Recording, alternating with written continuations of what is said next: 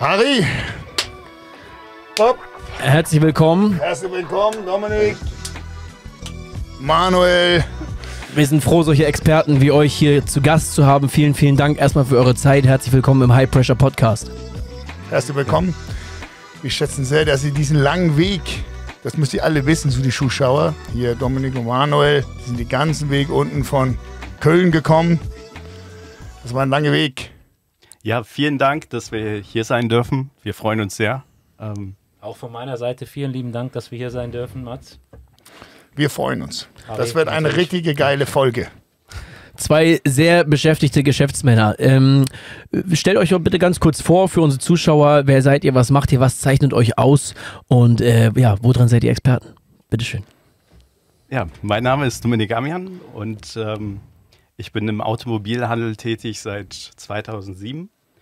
Wir verkaufen besondere Fahrzeuge in, weltweit und äh, markenübergreifend.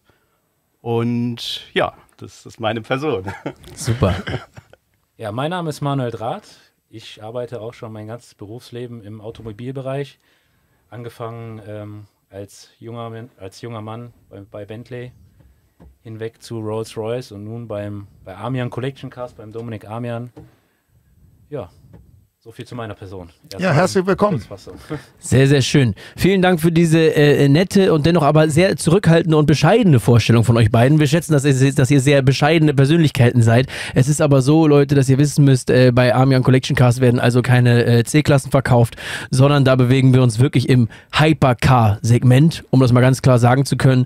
Äh, Mats Christensen war selber dort vor Ort. Kannst du mal kurz erzählen, Mats, was waren deine Eindrücke dort und äh, wie, wie war dieses Erlebnis für dich? Wirklich bei, bei denen im Hause zu sein. Ja, ich erzähle schnell über diese Reise. Das war ich war ja unten beim Rolls Royce in Köln, weil ich musste zum Service. Und äh, Manuel ist ja ein guter Freund von mir. Wir haben uns auch kennengelernt durch Rolls Royce, wo er war, damals, wo er da war. Und äh, da wusste ich schon, dass ich auf dem Weg nach unten war und da hat er mich eingeladen. Den Tag danach. Das hat einen Tag gedauert, der Service. Und ich hatte nicht so große Vorstellungen und äh, ich hatte auch nicht so richtig äh, nachgeforscht. Ich wusste nur, dass er bei einer luxuriösen Car-Dealer angefangen hat zu arbeiten. Und er sagte, Mats, ich verspreche dir, wir haben momentan so richtigen, die würden dich schon beeindrucken, die Autos. Aber ich will nicht so viel sagen. So, ja, okay. Und wir waren auf dem Weg, Jan und ich. Du kennst ja Jan. Ja, dann sind wir da hingekommen und dann I was blown away. Dann kam ich rein, Digga.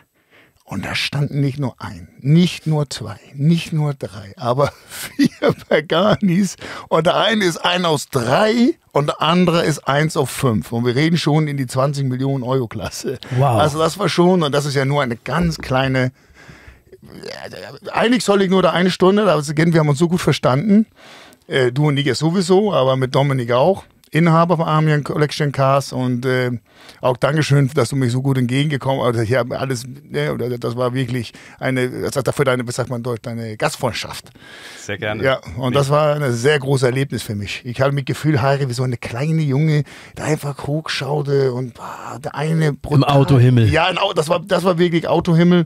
Das war ein sehr, sehr großes Erlebnis für mich und das ist auch damit geendet, dass ich fast da fünf Stunden war und am Ende äh, äh, sind wir dann essen gegangen bei Michael Schumachers Go-Kart-Track. Wie ich verstehen kann, auch einen der größten in Deutschland, ne? Ähm, also Michael Schumacher, hm. die, die, die Kartbahn gibt es ja nur einmal. Ja. Und ähm, ja, natürlich gerade sehr emotional im aktuellen Momentum mit, äh, mit Michael und ja. natürlich für uns auch eine, eine emotionale Sache. Ja. Ähm, aber es gibt nur eine Kartbahn, soweit ja. ich weiß. Das war auf jeden Fall ein sehr großes Erlebnis für mich und alle diese Autos. Und dann, wo du gesagt hast, Mats, wir zeigen dich mal alle die Autos. Und das sind wir von die eine Halle nach die anderen. Und ich bin ja so eine auch genauso wie Harry. Ich glaube auch, das ist der Grund, dass wir uns so gut versteht, auch über die Jahre. Aber ich schaue auf jeden Detail. Und was ich schön fand, war, dass sie das alles vom Boden gebaut haben. Ihr habt alles gebaut für, für, für deine Firma. Und äh, also das war, das war Wahnsinn. Aber den Auto, was ich am schönsten fand, natürlich finde ich die Pagani Wahnsinn. Also wenn man als Mann oder, oder Frau das so ein Auto nicht schön findet, aber den KTM ja. der Batmobil.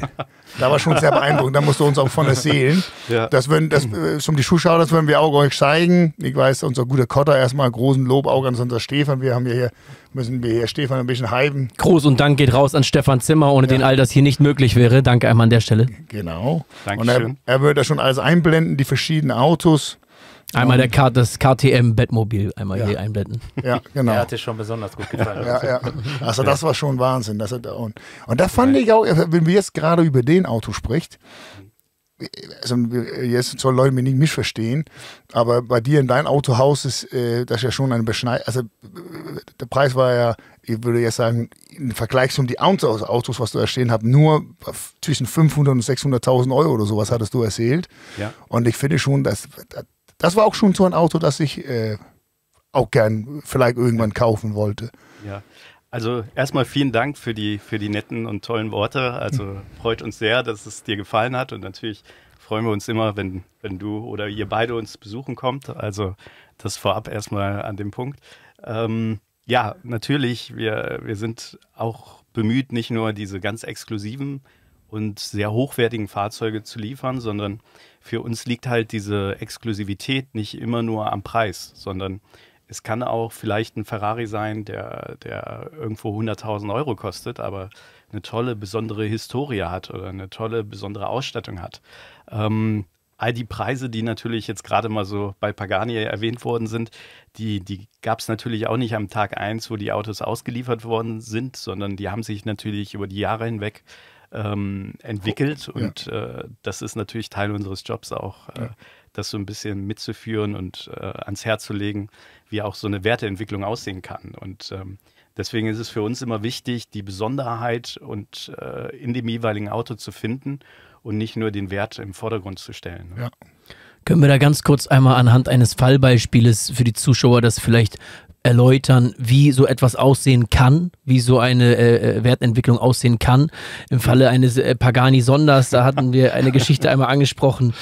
Ja, also Pagani Sonder, das ist natürlich so ein Thema, was äh, aktuell sehr präsent ist in den Köpfen, weil es natürlich so das, das Auto ist, was meiner Ansicht nach so durch die nächste Generation sehr geprägt ist. Ähm, ich kann mich noch relativ gut daran erinnern, wir waren in Deutschland sehr früh mit dem äh, Fahrzeug oder mit der Marke Pagani verbunden, also im Jahre knapp 2008, 2009 haben wir Ihr so seid einer der größten Zusammenarbeitspartner für Pagani ne? in Deutschland. also wir sind natürlich kein offizieller Händler, allerdings äh, gibt es, glaube ich, nicht. Äh, Gibt es einen in Deutschland? oder weltweit? Ja, es gibt einen, also äh, einen, einen Pagani-Händler, einen offiziellen gibt es.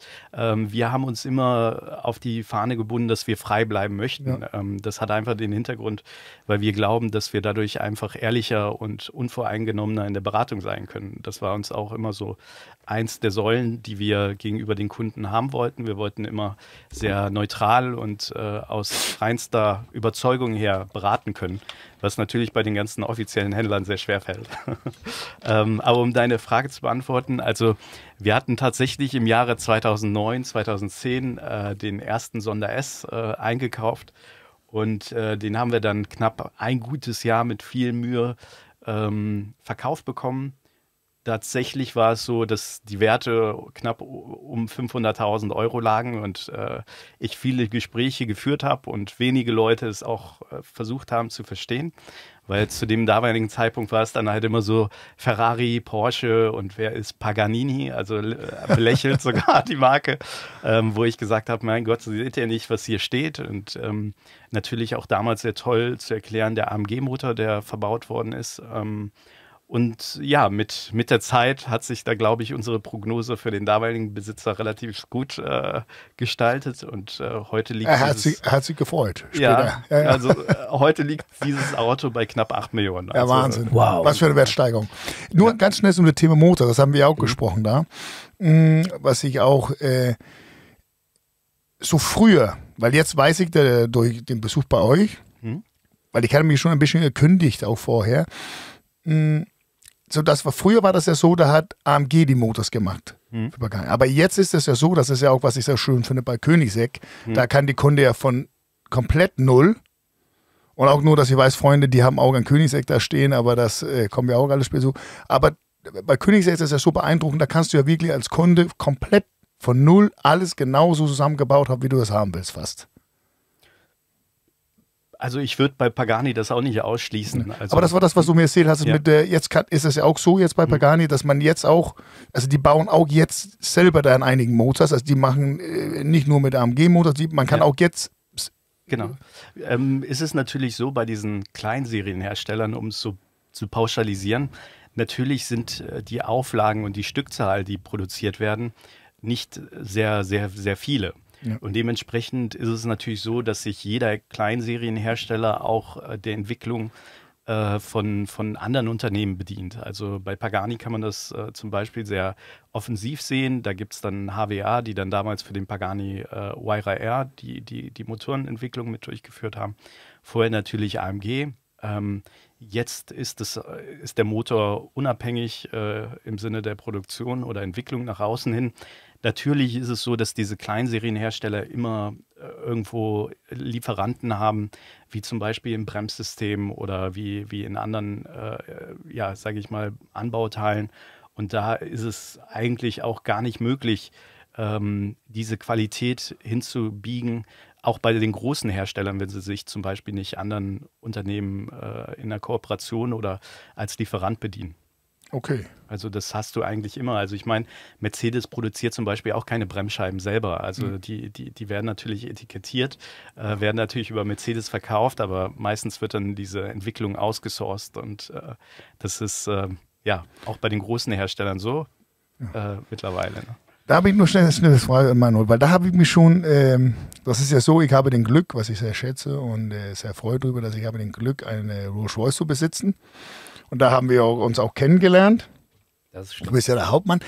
Und da habe, war, ist, die Bremsen oder hier die, die, die, die, die, die Luftfahrwerk ist von Citroën oder ist das von oder war das von Saab oder von wo ist das? Die das, ähm, das Luftfahrwerk meinst ja, du? Ja, genau.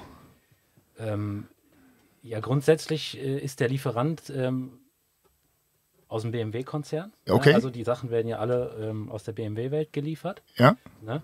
Äh, der, der Kern der ganzen Geschichte, muss ich dir ganz ehrlich sagen, ähm, Saab, Citroën, ähm, ist mir jetzt so tatsächlich gerade nicht bekannt. Ne, okay, ich glaube nämlich, ich hatte gehört von Citroën, weil die machen irgendwie etwas die besten Luftfahrwerke der Welt oder irgendetwas. So hatte ich etwas gehört, deswegen war das eine, eine qualifizierte Frage. Ja, was halt sehr interessant ist bei dem Luftfahrwerk bei ja. Rolls-Royce, da ja. ist äh, Rolls-Royce natürlich sehr, sehr sehr gut aufgestellt. Ja? ja. Also die Fahrzeuge, äh, Rolls-Royce möchte ja haben oder gibt alles darauf, dass wenn man in dem Auto sitzt, dass das weniger ein Fahren ist, sondern mehr ein, ein Gleiten, ein Schweben. Ne? Also ja. das, was in der Außenwelt passiert, sollst du im Innenraum des Fahrzeugs nicht erleben.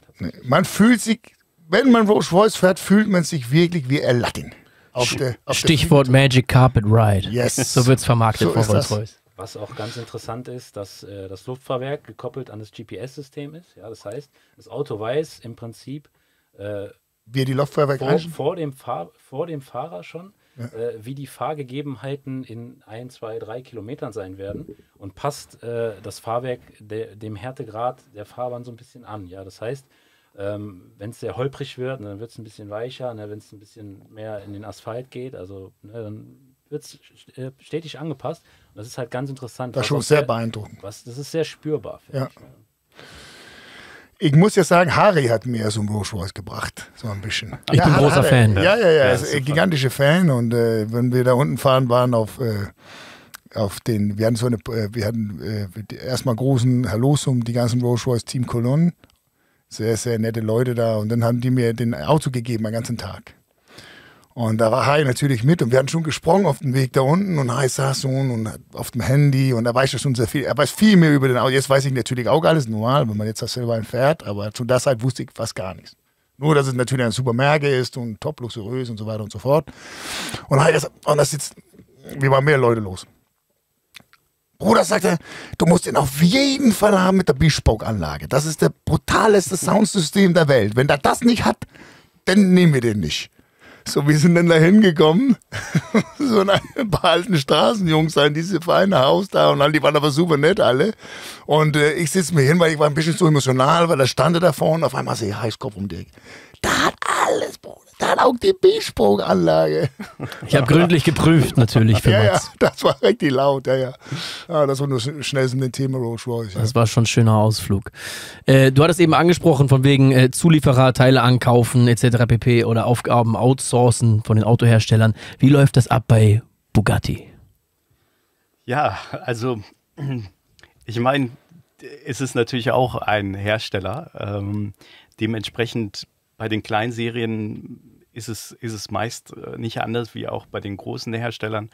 Ähm, das heißt natürlich auch da werden mit Sicherheit Teile äh, oder Teile zugekauft beziehungsweise an andere Unternehmen abgegeben, dass sie die produzieren im Auftrag für Bugatti. Und ähm, ja, ich, ich meine, so könnte ich mir das relativ gut vorstellen, ohne da natürlich jetzt äh, die Geheimnisse von Bugatti Selbstverständlich. zu, zu, lüften oder Lieferanten. Nur schnell für die Zuschauer, wie viele Bugattis hast du, habt ihr momentan stehen bei Army Collection Cars? Ähm, aktuell haben wir äh, zwei, drei, also ich meine vier Stück äh, müssen wir haben, ja. Also Wenn ich auf Besuch war, war, ich glaube, da war ja. ein paar mehr, ne?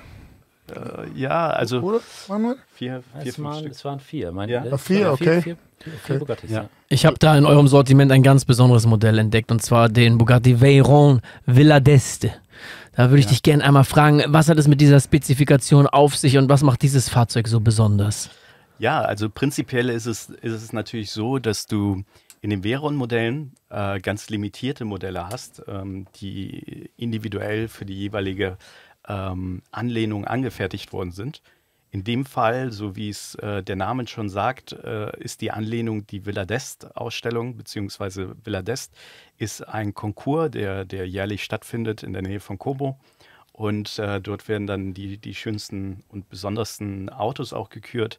Und äh, da hat er natürlich auch einen Bugatti mit dieser Anlehnung an das Fahrzeug äh, und an einen ehemaligen Rennfahrer äh, gelehnt, äh, um natürlich dort das Thema zu, zu definieren. Ähm, der Rennfahrer war natürlich von der, von, von der Anlehnung her aus äh, äh, dementsprechend mit der farblichen Kennung auch angelehnt. Dementsprechend hatten wir diesen Grünton bei diesem äh, Villa d'Est, der da bei uns aktuell. Ja, das, sieht, das, sieht, das sieht Wahnsinn aus. Sehr, sehr starker Spec. Sehr starker Spec. Ja. Äh, verfügt dieses Fahrzeug auch über einen 16-Zylinder? Ja, also das ist natürlich unglaublich. Also prinzipiell jetzt nicht bezogen auf diesen, auf diesen äh, Veron, aber prinzipiell, wenn man sich mit dieser Veron-Geschichte befasst, ich hatte das ja bei unserem Besuch mit dem Matze auch schon mal so angedeutet, ist es eigentlich so unglaublich, äh, wenn man bedenkt, was praktisch äh, bei dem Veron für eine Entwicklung drin steckt.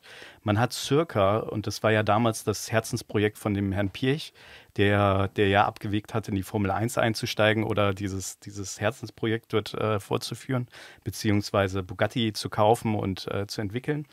Und ähm, man muss bedenken, dass circa damals, und da reden wir über 2003, 2004, ähm, der Entwicklungswert von so einem Veron bei knapp 6 Millionen, 5, zwischen 5 und 6 Millionen Euro lag. Ja. Unfassbar. Und ähm, das finde ich eigentlich so beeindruckend, dass die Qualität, die damals ähm, bei den Fahrzeugen verbaut worden ist und diese kompromisslose Entwicklung, der Standard war halt so unbeschreiblich hoch und ähm, ihr müsst euch vorstellen, es wurde halt mit jedem Fahrzeug ein Verlust von knapp dreieinhalb Millionen Euro hingenommen, weil der qualitative Standard so hoch war und ähm, wir dementsprechend äh, dieses, dieses Upside-Potenzial auch äh, heutzutage sehen, dass die Leute irgendwann auch realisieren, was für ein qualitativer Entwicklungsstandard schon damals äh, bei den Fahrzeugen vorhanden war. Also ein optisches Merkmal sind natürlich diese, diese PS, ähm, die man. Wie viel PS hat er? Kann. Also der hat jetzt knapp 1001 PS. Ja, Wahnsinn.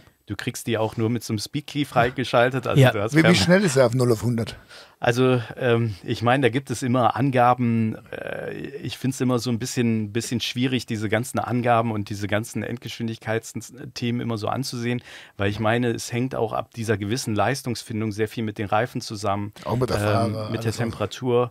Ähm, ich meine, die, die, die Problematik ist einfach bei den 1000 oder 1 PS die Leistung einfach auf den Boden zu bekommen. Ne? Ja. So, das, und, und, dementsprechend, wenn du natürlich andere, weichere Reifen hast oder eine andere Asphalttemperatur hast. Oh, jetzt, wo, wenn ich dich schnell unterbringen darf.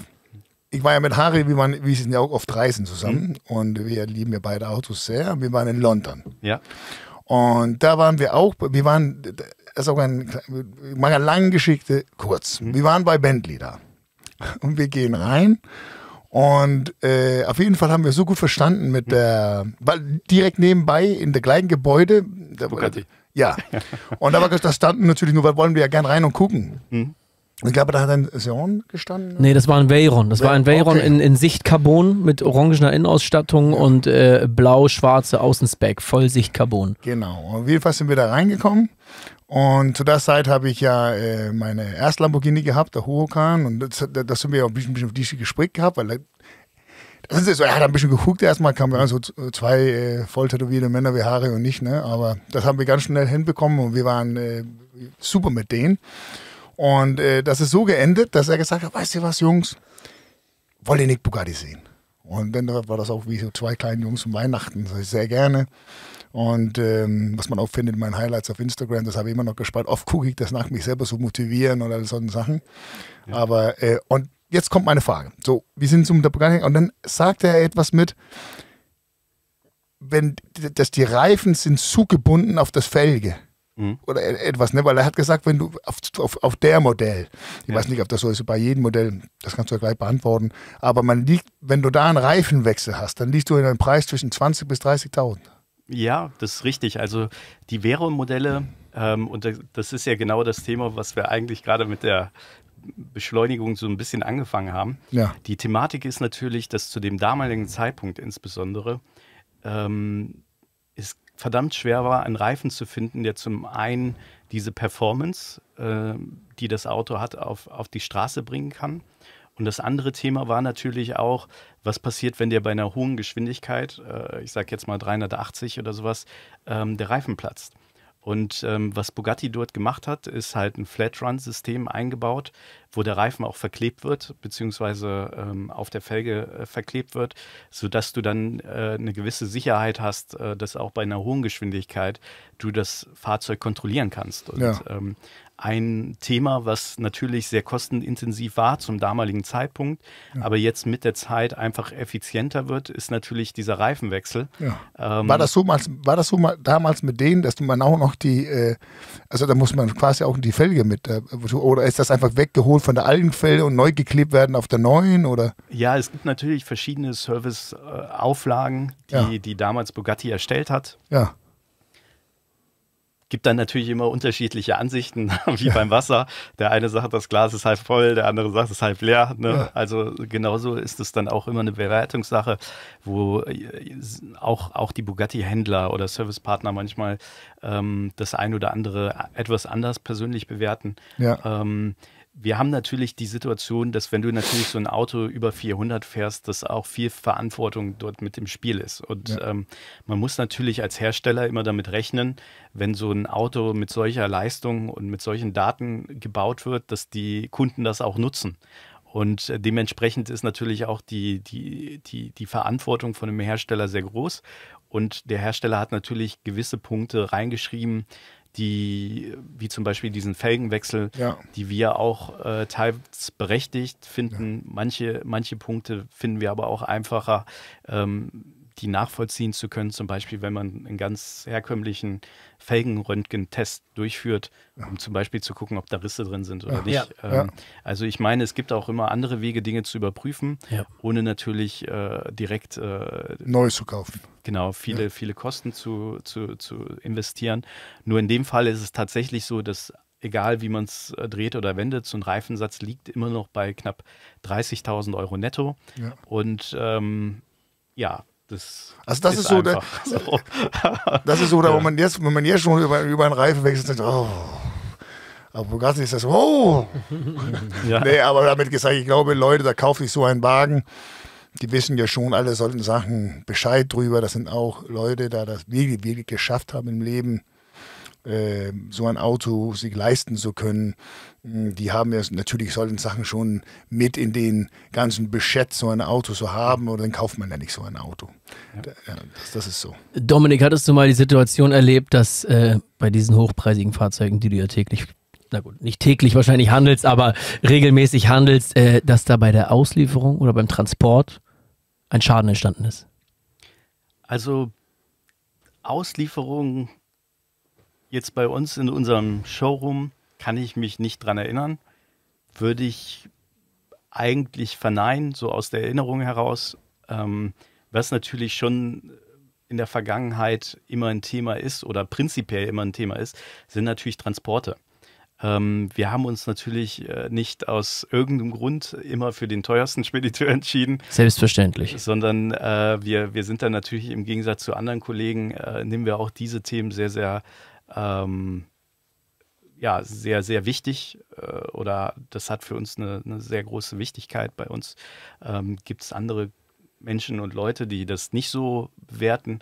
Für uns ist dieses Thema Transport, finde ich, ein ganz großes Thema, weil du diesen ganzen Fahrzeugwert natürlich einer dritten Person übereignest, die dann teilweise auch über längere Strecken und längere Zeiträume oder teilweise auch über Nacht äh, dieses Auto in seiner Obhut hat. Und ähm, ich finde es dann manchmal immer sehr äh, ja, leichtsinnig, wie, wie andere Kollegen aus der Branche das Thema bewerten und ähm, wie sie dann eigentlich immer nur noch gucken, dass sie den Preis pushen.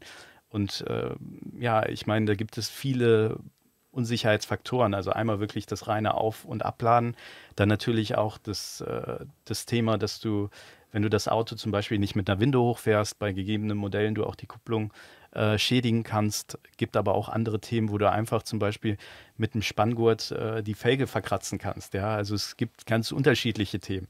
Ja, kann aber auch sein, dass der Spediteur nicht die Reifen wechselt ja. und du einfach einen, einen Reifen äh, hast, der auf der Autobahn dir platzt. Sagen und, kann ja äh, immer kommst, passieren. Kommt ins Schlingern. Also es Ja. gibt viele un, äh, ja, Ungereimtheiten, die da immer auf entstehen können. Wir haben da, sage ich mal, unsere Prüfungsthematiken und hier an der Stelle möchte ich dann mal ein großes Lob an den Herrn Ortmann aussprechen, der dann für uns Grüße an Ortmann. Jahre Transporteur eures Vertrauens. Genau, Ja. genau. Ja, das ist Sachen- sehr, sehr wichtig, ne? dass man da einen starken Ja. Partner hat. Ja. Gerade bei solchen Autos wie zum Beispiel auch ein Ferrari Enzo oder so, diese ganz, ganz hochpreisigen älteren Modelle habt ihr ja auch bei euch im Sortiment, habe ich gesehen. Äh, da ist natürlich, sind das ja, glaube ich, auch dann zweistellige Millionenbeträge, richtig? Absolut. Also da transportiert es, werden. Es sind natürlich, es kommt natürlich vor, auf jeden Fall, dass auch diese Fahrzeuge transportiert Ja. werden müssen. Und äh, ich sag mal, diese, diese Zahlen sind jetzt für uns nichts äh, Ungewöhnliches. Ja. Könntest du ganz kurz für die Zuschauer einmal skizzieren? Ferrari Enzo, wir blenden es auch gerne hier einmal äh, ein. Habt ihr bei euch im Sortiment in Rot und in Schwarz, habe ich gesehen. Äh, was ist das für ein Auto? Was macht das Auto so besonders? Und äh, was sind die Charakteristiken?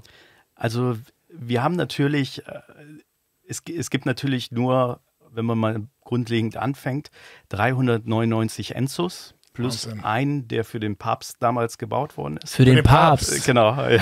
damit er auch mal Rock'n'Roll machen kann. ja, damit er sich auch mal was gönnt. Ne? Ja. Und ähm, das, äh, das äh, Hat er immer ist- noch eine oder ist er Der ist versteigert worden zum guten Zweck. Also, Ah, okay. Ja, also ist natürlich immer schön auch, äh, dass man sieht, Ein ähm, wahrlich gesegneter Ferrari. ja, dass, dass diese Dinge auch äh, wohltätigkeitsmäßig auch in dem Segment immer noch äh, funktionieren. Und ähm, ja, ich meine, die Stückzahl an für sich ist natürlich schon eine sehr geringe. Was der Name Enzo mit sich führt, wissen die meisten. Natürlich, der, der Gründer von Ferrari hieß Enzo Ferrari. Und äh, dementsprechend natürlich der, die Widmung des Vornamens ist natürlich sehr besonders. Für uns aktuell, was wir auch als besonders bewerten, ist natürlich nicht nur der Name, nicht nur die, die Stückzahl, die gebaut worden sind und auch nicht die besondere Türeigenschaft, ähm, ist auch, dass es das letzte, zumindest aktuell ist es so, das letzte Fahrzeug ist, äh, was nicht als Hybridmodell gebaut worden ist. Also das heißt, äh, im Anklang dessen kam der LaFerrari, der ist äh, hybridbasierend und dementsprechend ist das für uns auch nochmal ein, ein Epochenschnitt, den wir auch sehr zukunftsorientiert ähm, empfinden. Was natürlich das jeweilige einzelne Fahrzeug angeht, kann ich natürlich zu dem schwarzen Enzo so ein bisschen äh, mitteilen. Viele äh, wissen das natürlich auch. Ich habe Ähm, den live gesehen, da war sehr, sehr hübsch. Da hat Manuel mir alles erklärt über den. Ein wirklich sehr schönes Auto. Ja, Ja. Mit einer kleinen Geschichte, aber da gebe ich wieder weiter an Dominik. Ja, also ich meine, ähm, zum einen schwarz ist natürlich ganz äh, oder ist das eine ist, das ist, Farbe. ist ja mehr selten als die rote. Genau, genau. Okay. Also die meisten Fahrzeuge sind in Rot produziert worden. Ähm, bei dem Roten, den wir dort äh, haben und jetzt mittlerweile schon einen neuen Käufer gefunden hat, ähm, war natürlich das Besondere die Kilometerlaufleistung und die Historie. Also du hast äh, ein Fahrzeug, was wirklich eine absolut geringe Kilometerlaufleistung hat und das so dokumentiert zu finden, dass du fast jede zwei Jahre oder jede drei Jahre noch einen Service hast mit knapp 1000 Kilometern, das ist wirklich ganz, Bei- ganz selten. Ne? Weil, weil du Das habt ihr bei den Schwarzen? Ähm, bei dem Roten war das okay. der Fall. Okay. Bei dem Schwarzen, der hat natürlich auch eine ganz tolle, ausgeprägte Service-Historie. Ja. Allerdings, was da ganz besonders ist, ist natürlich die Farbe schwarz. Also, dass du wirklich einen von den ganz wenigen äh, Fahrzeugen hast, die nicht in Rot sind. Und Aber warum, warum haben die nicht mehr gemacht in Schwarz? War das. Das waren so die Bestellungen. Also, du Okay. gehst ja, der Hersteller speckt ja nicht so wie oder, oder spezifiziert ja nicht, wie er es für richtig hält, sondern wie die Bestellungen reingehen. Von der Kunden. Die Kunden Ja, okay. sich wünschen. Ne? Bei Ja. der, Ich bei glaube, der, Rot ist generell der Dauerbrenner bei Ferrari, richtig? Auch heute noch. Ja, ich, ich finde, dass das schon sich ein bisschen mehr gewandelt hat. Also ich finde es ja auch toll, dass die Leute sich heutzutage ein bisschen was trauen. Also früher war es wirklich immer sehr konservativ, Porsche schwarz, Ferrari rot. Mhm. Und heute sieht man schon, dass, dass auch Grautöne sehr beliebt sind bei Ja. den Ferraris. Habe ich auch oft gesehen, gerade bei 488 Pista-Modellen. Genau. Viele, viele graue und silberne habe ich gesehen. Ja. Grau, Silbertöne. Ich meine, man sieht dann auch immer mehr Weiß. Also früher war ja auch Weiß, äh, wenn wir so ein paar Jahre zurückgehen, eine Farbe, wo man gesagt hat, ja, das äh, ist nur für die Araber oder ne, für, die, für, für die Leute, die, die irgendwo aus, aus, aus dem Bereich kommen. Und heutzutage finde ich es toll, dass, dass die Leute sich auch trauen, einfach Ja. ähm, verrückte Kombinationen auszustatten und auch äh, Mut haben, die zu spezifizieren. Weil man muss ja auch immer sagen, wenn du, wenn du vor dem äh, Rechner sitzt und ausstattest, hast du sehr oft ja kein Auto, was du live dir anschauen kannst, Ja. sondern Ja, du was, musst was dann ganz anderes ist. Ne? am Bildschirm ausstatten. Jetzt hat man Gott sei Dank 3D-Animation und kann dann Ja. seinen Spec sehen und kann sehen, wie alles aussieht, so wie als wir zusammen bei Rolls-Royce in London waren, weißt du noch, wo wir auch einmal einen, äh, einen Spec da äh, äh, äh, au- au- ausgestattet haben, also zusammengestellt haben. Das war ja auch äh, super mit der 3D-Animation. Aber natürlich damals bei solchen Enzo-Geschichten und so, das ist ja alles ein paar Jährchen her. Da gab es ja nur dann quasi äh, wahrscheinlich sogar nur einen Katalog, wo man die einzelnen Sachen ausgewählt hat oder irgendwie auf Blatt und Papier. Da gab es wahrscheinlich nicht mal äh, Ja. eine digitale Darstellung, richtig? Du, du, du darfst einfach dankbar sein, so ein Auto zu bekommen. Ja.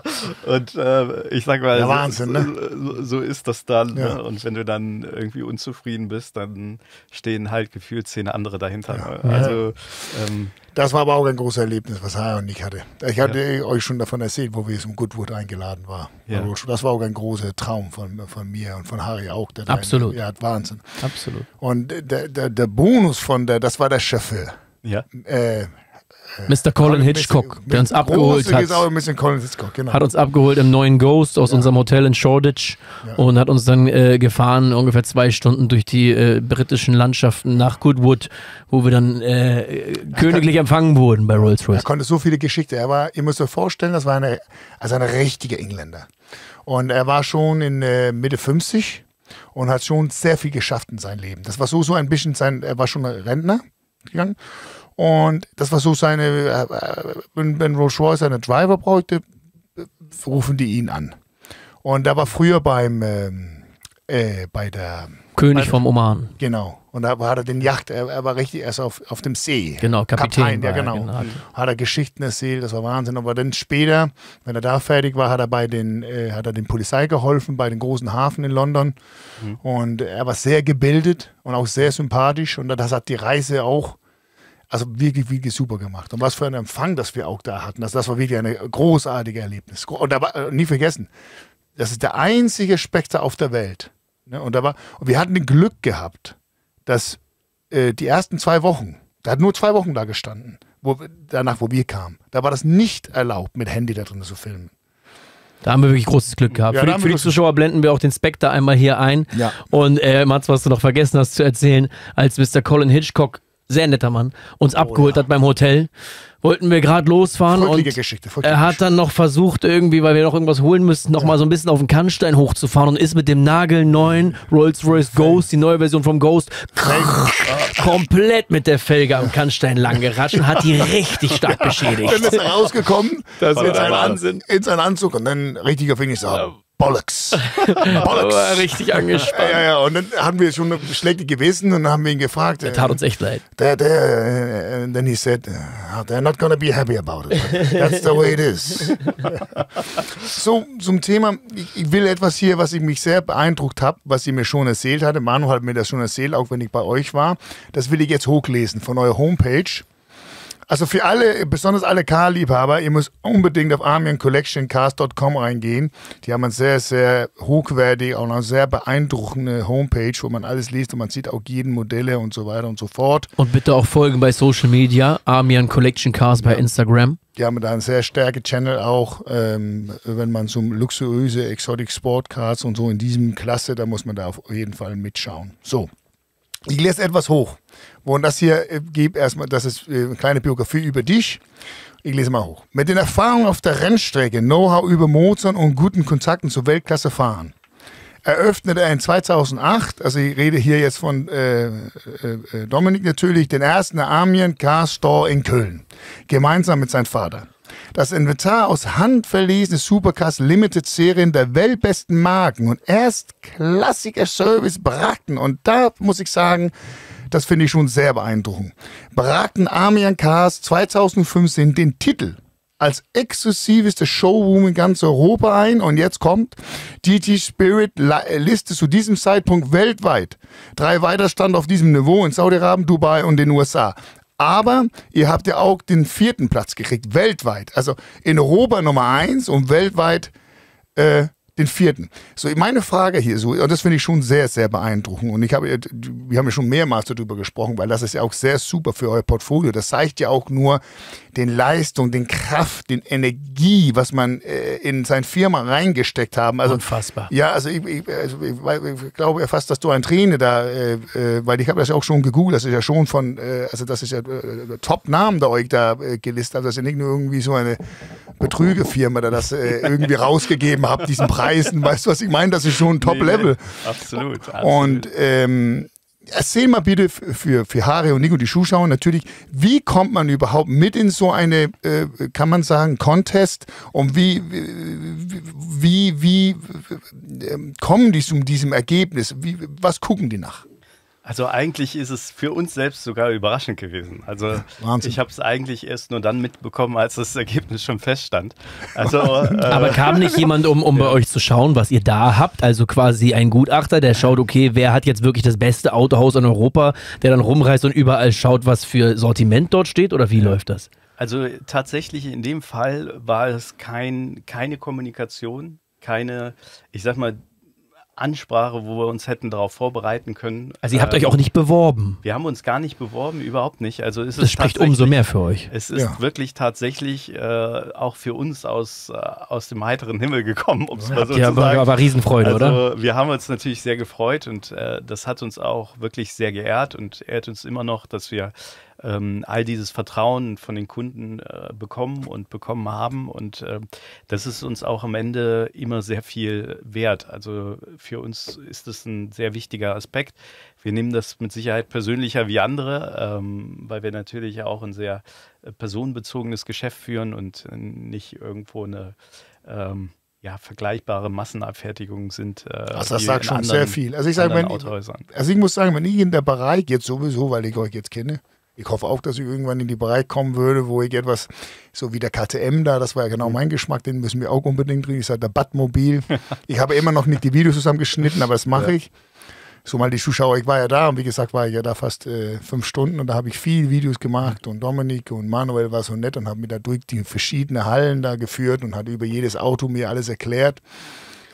Ähm, ja, das war, das war wirklich, wirklich eine, eine, ein sehr große, sehr große Erlebnis. Ja, vielen Dank. Also wir stehen jeden Tag auf, alle zusammen mit vollster Motivation, um uns zu verbessern und äh, wirklich äh, jeden Tag äh, das Beste für die Kunden zu leisten. Und für uns ist das halt auch in der Danksagung. Wir schreiben immer Danksagung, ein ganz wichtiger Aspekt, den wir äh, den Kunden mitteilen möchten, dass wir jeder Einzelne unterschreibt dort und sagt, bedankt sich vielmals fürs Vertrauen und für die Möglichkeit, äh, dieses tolle Auto dem jeweiligen Fall ausliefern zu dürfen.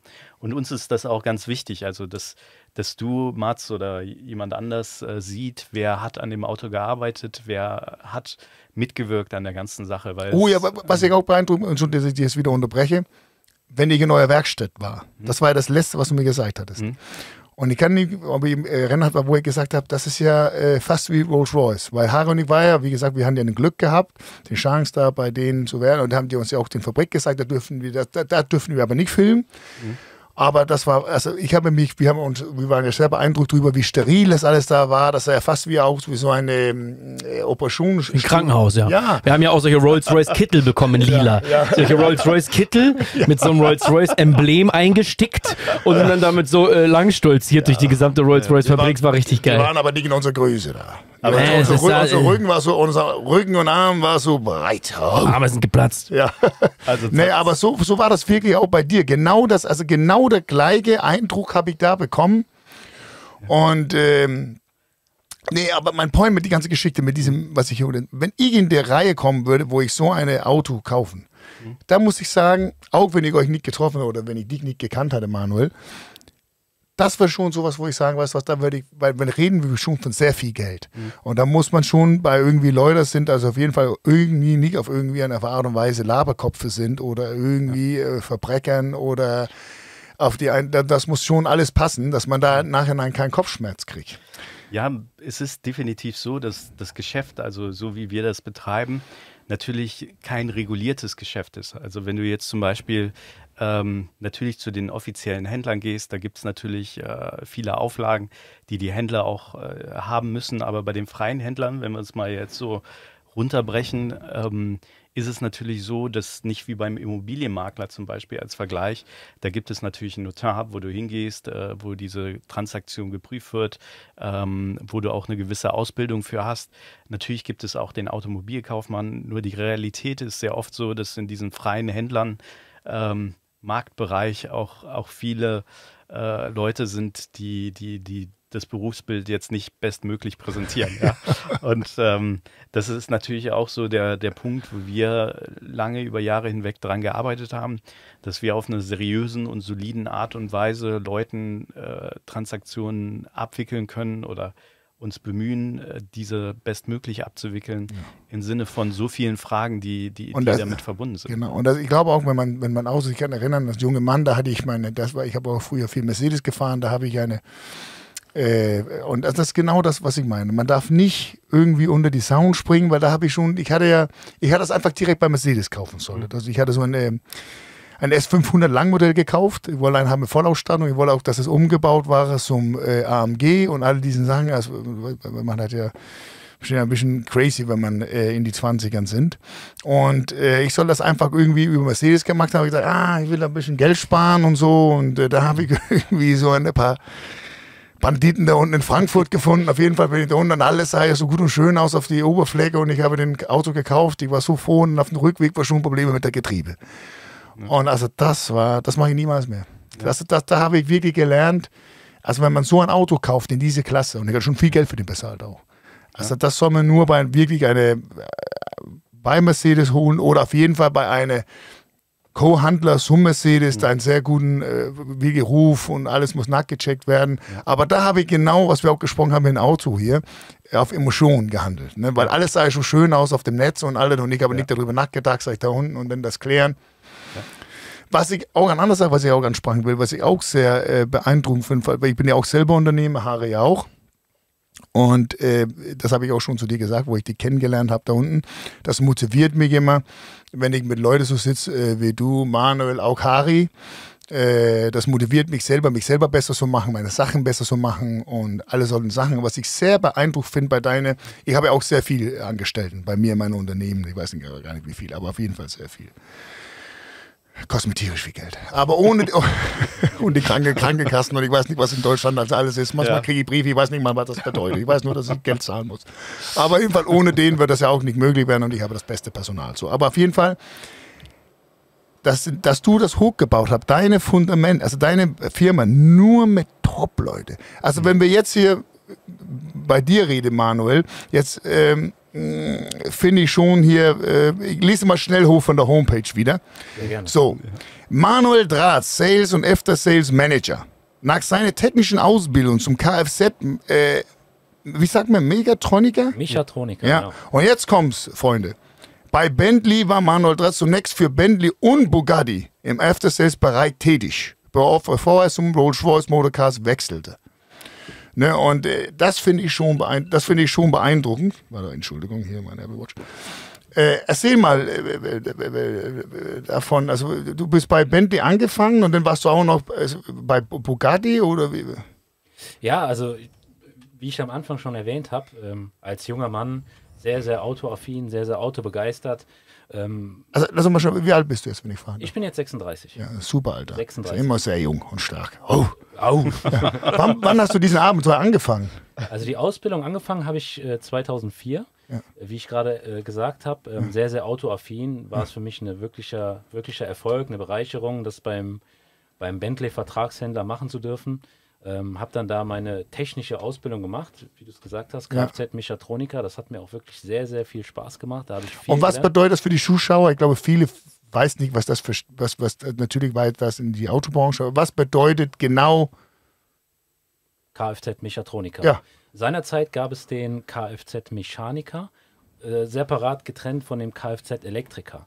So, das ist äh, genau in diesem, ich nenne es jetzt Jahr, wo ich meine Ausbildung angefangen habe, gewandelt worden. Ja. Dann gab es nicht mehr den Elektriker und den Mechaniker, sondern den Mechatroniker. Okay. Sodass beide Berufsgruppen zusammengeschlossen ist. zusammengeschmolzen sind und diese, diese Ausbildung dann äh, als Mechatroniker abschließen mussten. Okay. Die Ausbildung. Wie lange äh, dauert so eine Ausbildung? äh, dreieinhalb Jahre ungefähr. Okay. Seinerzeit sind es dann drei Jahre gewesen als Mechaniker oder Elektriker. Die haben ein halbes Jahr hinten dran gehängt, Mhm. aber halt beide Berufsgruppen miteinander äh, verschmelzen lassen. Ja. Genau, das habe ich halt auch mit sehr, sehr viel Liebe, mit sehr, sehr viel Emotion habe ich äh, die Ausbildung gemacht. Ja, aber dann würdest du auch nicht stehen, wo du jetzt stehst.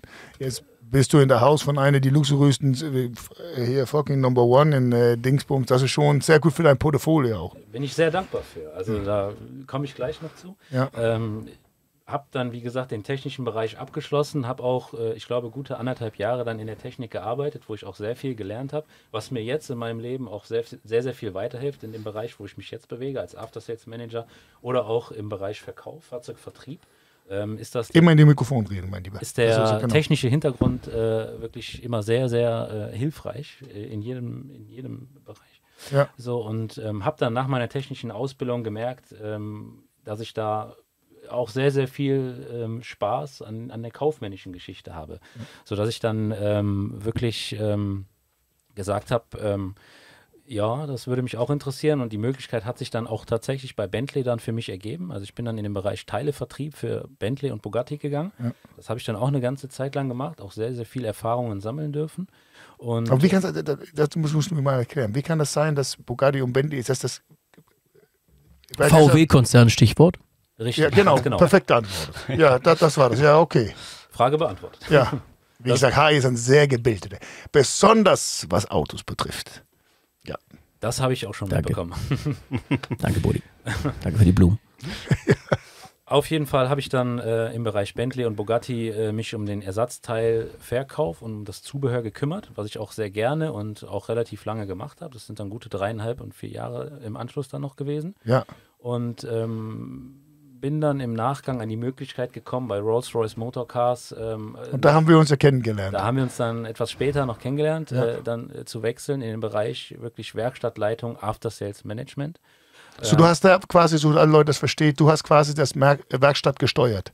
Ganz genau. Also die Leute haben da nichts gemacht, ohne dass du ein bisschen so die Finger auf die Pulster gehabt hast und so und so muss das geklärt werden, weil ich weiß ja auch mit dem großen Umbau von meine waren wir ja auch immer in, Ko also in äh, Kommunikation. Ganz genau. Also äh, jeglicher Bereich äh, im Werkstatt, After Sales Bereich ähm, ging über mich. Also ich war dann verantwortlich für die Werkstattplanung, für die Werkstattauslastung.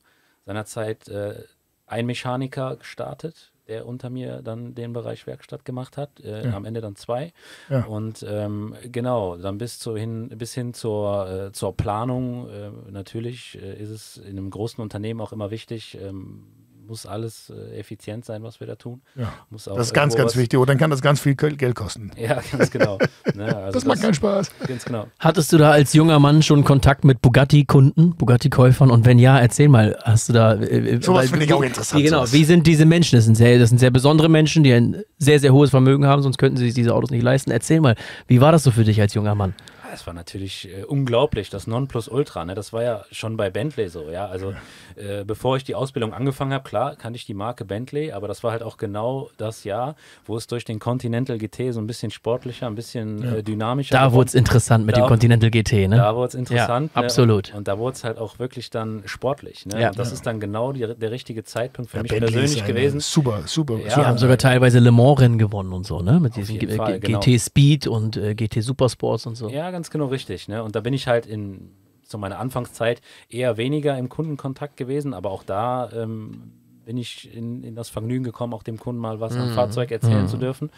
Hat mir dann auch damals schon sehr viel Spaß gemacht. Darum wahrscheinlich der spätere, spätere Werdegang in Richtung kaufmännisch. Und, Ja. äh, Du hast das auf jeden Fall super. Verkaufst du gerne? sehr, sehr gern. Ja. Ja. Du auch sicherlich, Dominik. Ihr seid gute Verkäufer. Also tatsächlich, ich würde sagen, dass ich nicht ein guter Verkäufer bin, weil ein guter Verkäufer ist meiner Ansicht nach jemand, der dir auch ähm, was verkaufen kann, wovon er nicht überzeugt ist. Ja, richtig. Dann wäre er ein Also- technisch guter Verkäufer. Ja. Aber du bist ein Verkäufer mit gutem Herz. Ja, also ich bin von dem überzeugt, was wir verkaufen. Ja. Ja, äh, gut, äh, mit Recht. Also das sind ja natürlich keine, äh, keine Blechkisten, die ihr da verkauft. Ja. Also wir, wir wählen ja auch alles so aus, dass äh, wir wirklich denken, dass es auch äh, nachhaltig ist im Sinne von der Werteentwicklung. Du vielleicht gegebenenfalls auch eine, eine Werteentwicklung hast, ähm, abgesehen natürlich von dem technischen Zustand. Äh, man kennt ja so die Basics, Unfallfreiheit, äh, nicht nachlackiert etc. etc. Ne? Irgendwo seid ihr also auch so eine kleine Art Investmentbanker.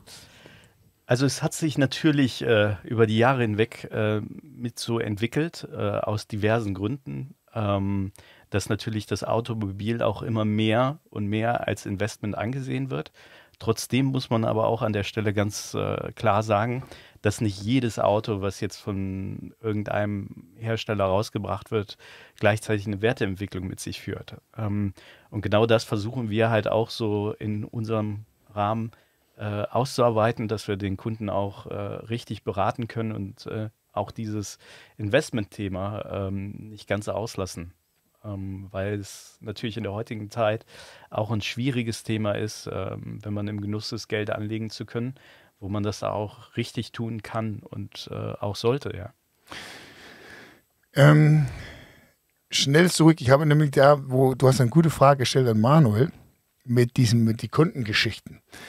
Eine lustige Geschichte, was sie mir erzählt hatte, wenn ich bei, äh, weil ich habe mir nämlich genau das gleiche Frage erstellt bei Rolls Royce damals mit den Kunden, was für Kunden kauft Rolls Royce und so Sachen. Und ähm, da fand ich die Geschichte mit dem netten Herr, hm, ich weiß nicht, ob er mehr Kunde ist bei Rolls Royce, aber auf jeden Fall kam er immer mit seinem Hund. Und dann hat er seinen Hund hochgestellt auf dem Ding und der Hund hat den Specs ausgesucht. Er hat, er hat seinen Hund so geliebt, also hier, äh, und da hat die Hund einfach den Specs ausgesucht, wie seine äh, Rolli aussehen sollte. Er hatte Also- quasi die Lederproben auf dem Tisch in den Ja, verschiedenen genau, Farben und hat den, hat den kleinen Hund ja, auf hoch. dem Tisch Ja, genau. mit, dem, mit, der, mit der Nasen, äh, mit, mit, mit der Nasenspitze drauf stupsen lassen, mit der Schnauze und, und hat also die Also das Lederkombination. fand ich schon ein sehr, sehr, ja, das ich schon eine gesch- äh, hier, äh, gespannte Geschichte. Wahnsinn. Ähm, hier zum, äh, ich will gerne, dass wir hier in den, den, den Podcast endet mit, dass du auf jeden Fall die Geschichte erzählen von der Königseck. Weil Freunde, bei Armian Car Collection, die haben nicht nur vier Pagani stehen, die haben vier Bugattis stehen, die haben mehr verschiedene Ferraris. Also wir konnten hier drei Stunden reden über die schönen Autos. Äh, Die hatten auch eine GTR RS3, ne? GT, also der 992 GT3 RS, Ja, der jetzt ja, ja, gerade rausgekommen Ja, ist. genau. Und dann hat, hat die auch mehr McLarens da stehen. Ich hatte auch einen McLaren, der nur zulässig war für die Rennstrecke. So, also da gibt es so viele. Welcher war das? Senna GTR oder? Genau, Ja, genau. richtig, Senna GTR. Allerdings muss ich hinzufügen, ja, um meine verkäuferische Tätigkeit da zu vollenden. Also das war ein Prototyp oder ist ein Prototyp. Ähm, einer steht bei McLaren im Museum, ähm, der andere dann bei uns. Und äh, da sind wir auch ganz stolz, solche ausgewählten historischen Objekte auch zu haben. Ja, also die euer Collection ist massiv und darüber können wir reden, da vier Stunden und äh, was ich aber ich habe zwei Sachen, dass ich gerne schnell Mhm. besprochen wird, bevor wir leider enden muss. Ich finde, wie ihr das alles hochgebaut habt, als wo ich selber Unternehmer bin auch, finde ich, das habt ihr so professionell gemacht. Ich finde für euer Social Media und für euer was wir auch schon besprochen haben, vielleicht irgendwann auch einen YouTube-Channel bauen, was ich finde, müsst ihr auf jeden Fall, also alle die größten äh, Collection-Car-Inhaber der Welt haben einen YouTube-Channel und Leute lieben das. Also Leute lieben ja Autos. Und das ist da diese große Plattform, was ihr gebaut habt, mit dem großen weißen Hintergrund. Und dann kann das sich drehen und dann kommt ihr Auto hoch auf einen Fahr großen Fahrstuhl, dann könnt ihr den direkt dahin fahren. Und dann auch durch diesen Hintergrund könnt ihr ja auch auf Programme wie Illustrator oder Photoshop oder wie auch immer fast jeden Hintergrund da einblenden, wenn er dreht. Und das finde ich, also das finde ich schon, das war sehr beeindruckend.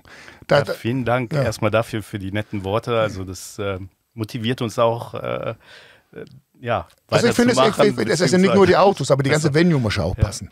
Das ist ja genau das Gleiche, wenn man in eine von meinen Tattoo-Studios oder mein Disco oder mein Bar oder wenn man bei High, bei Prime Tattoos kommt. Ich sage immer,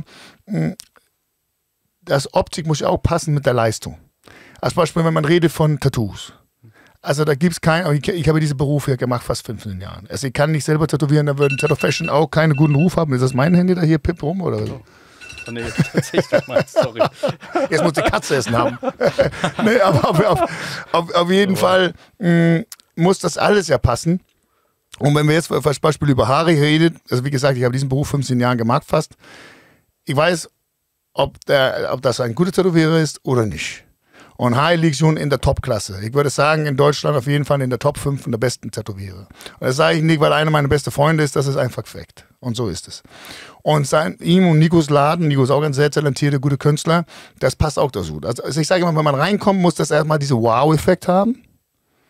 Und so habe ich auch meinen Läden gebaut. Und so muss ich auch sagen, großen Lob an euch, weil so hat, hast du auch deinen Laden hochgebaut. Und das kriegt man, wie, man kriegt wie diesen Wow-Effekt.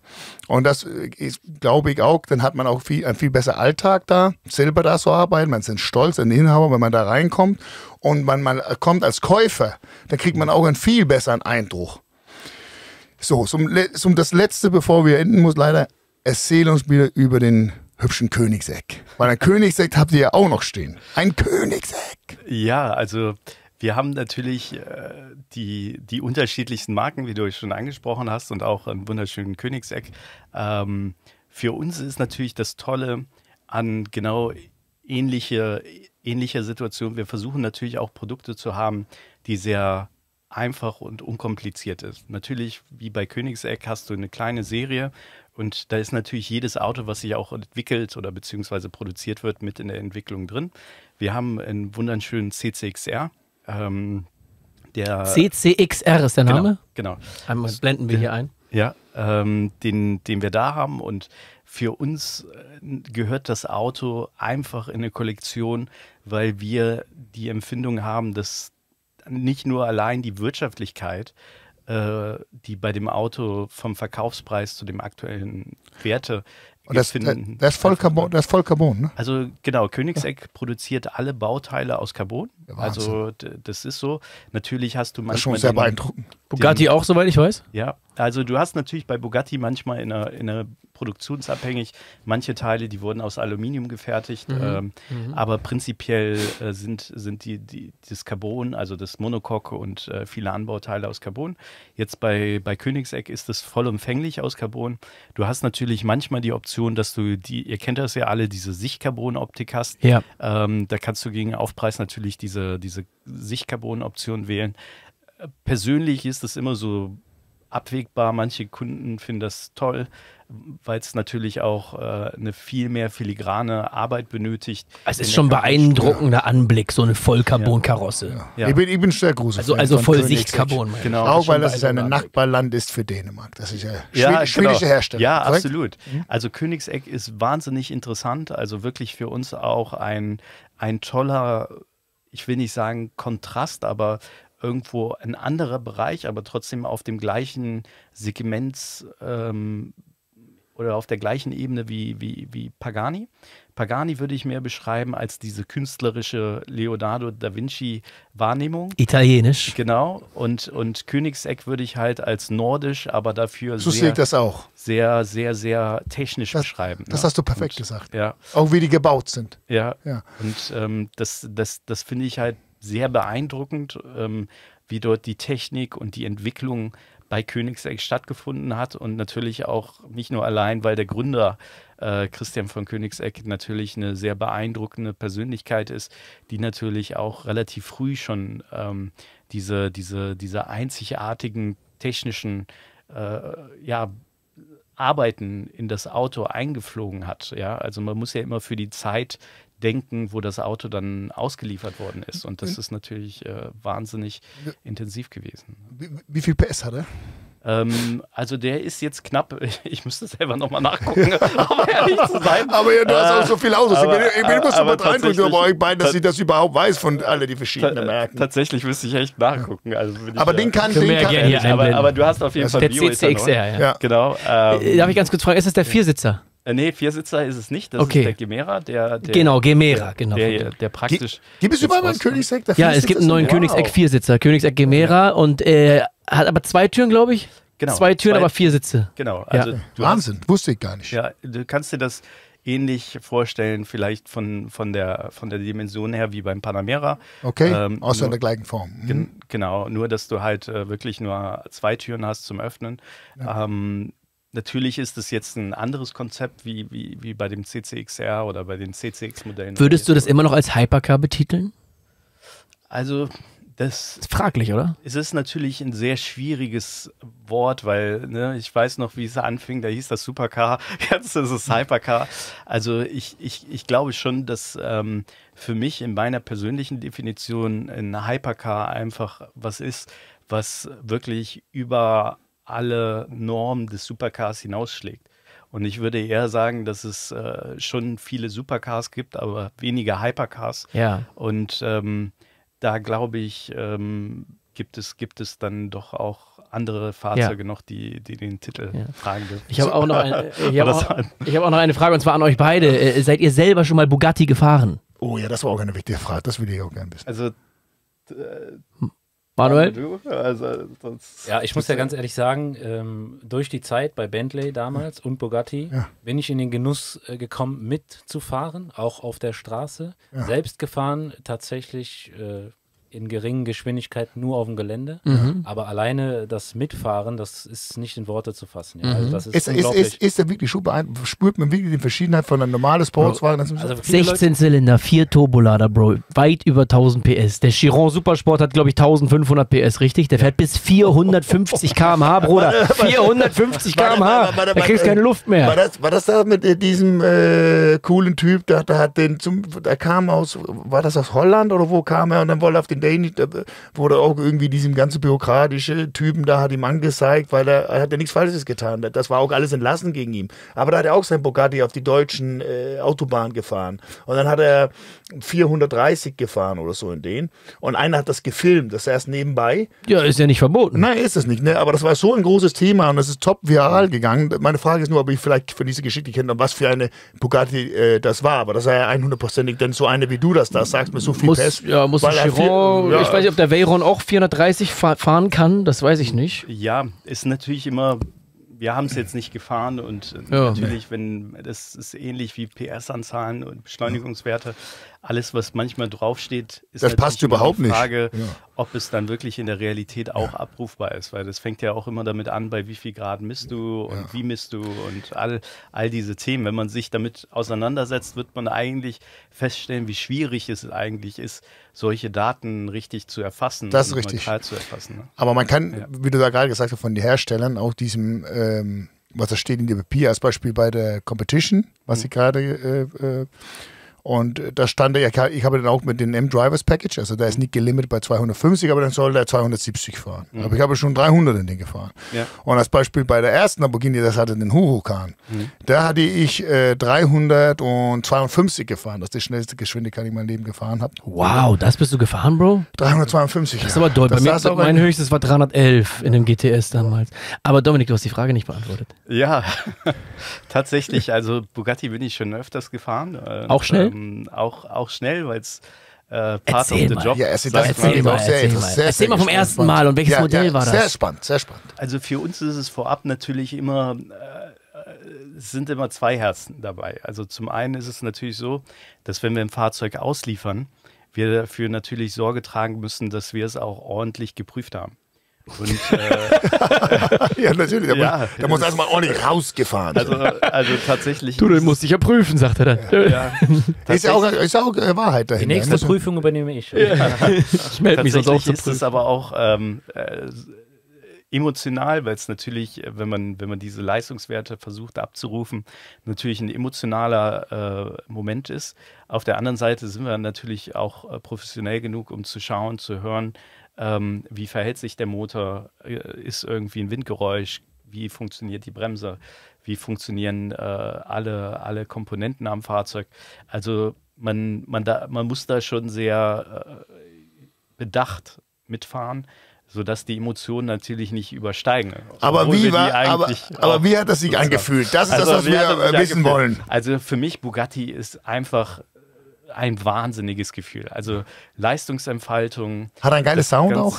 Ähm, der Sound ist äh, nicht vergleichbar wie jetzt zum Beispiel die Italiener, wo, du, wo du eine hohe Drehzahl hast.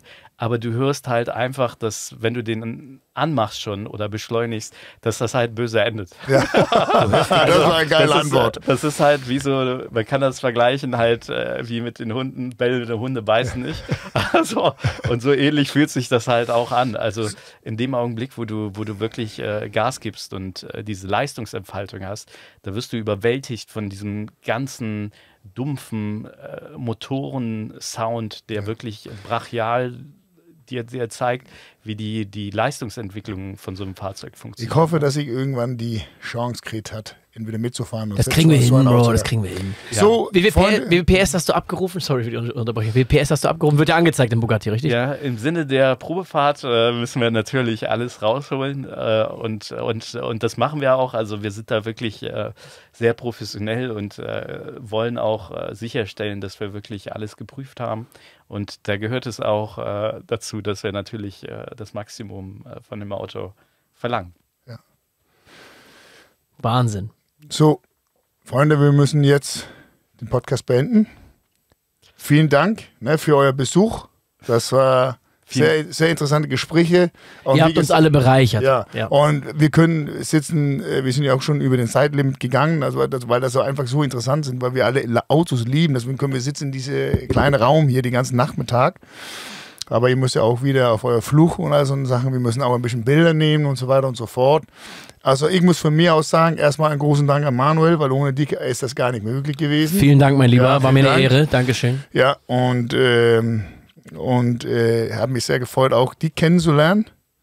Mich ebenfalls, Ja, ja. ihr- euch beide. Dominik, also, danke für dein Fachwissen. Danke für deine Anwesenheit. Vielen, vielen Dank. Nein, Ja. vielen Dank, dass wir kommen durften. Also auch großes Kompliment an euch. Also wirklich beides super Typen und äh, so viel positive Energie, äh, die strahlt bis nach Köln. Uns ist, äh, uns ist immer wichtig, dass man das nach einem Treffen, dass äh, alle Energie mit nach Hause nehmen und keiner sich, wichtig. keiner sich Energie beraubt fühlt. Keiner soll äh, äh, äh, quasi mit einem, mit einem Minus rausgehen, sondern nur mit einem Plus an, an, an Gefühlen Genau. und Motivation. Das ist immer sehr, sehr wichtig bei jedem, mit dem wir Zeit verbringen. Ja. Wir wollen nicht mit Energieräubern zu tun haben. Nee, Ja. genau. Auch nochmal, Entschuldigung, Ja. auch nochmal von meiner Seite, Mats, vielen lieben Dank für die Einladung. Das ist uns wirklich eine sehr, sehr große Ehre, hier mit dabei sein zu dürfen.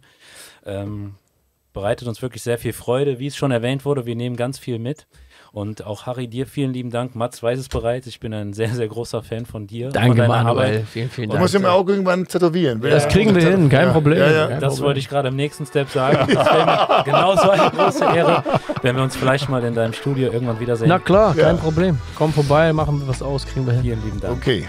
Freunde, Dominik, Hey. Danke euch. Brody. Super. So, Vielen Dank. High Pressure Podcast. Dankeschön. Ja, und nochmal zum alle, bevor wir enden, folgen Armin Collection Cars auf Instagram. Ne? Unser hier, äh, hier ganz, ganz bekannten Stefan Ex-Zimmer. Zimmer Steph. Ja. Mit den großen Bizeps. Okay, danke. Und gute Geschäfte euch, Jungs. Jo. Vielen lieben Dank. Danke.